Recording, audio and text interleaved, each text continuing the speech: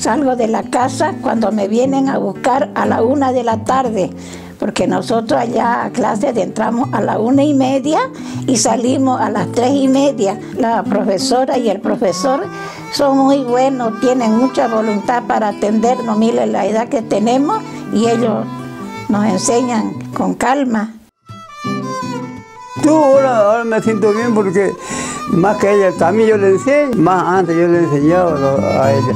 Ahora claro como sabe más, ahora ya sabe más que mí. Me gusta estudiar, aunque sea los tropezones, pero este, me gusta. Porque a los tres años que yo fui a la escuela nunca di examen, porque había que echar el arroz, el maíz, todo, enseñar los burros, y ese año no daba examen. Yo quisiera nacer de nuevo para aprender más cosas, pero estoy muy contenta igual. Así que yo a los jóvenes, yo les aconsejaría que estudien, que no se queden ahí nomás en primero, que en segundo, no, porque después cuando sean más grandes se van a arrepentir mucho, mucho.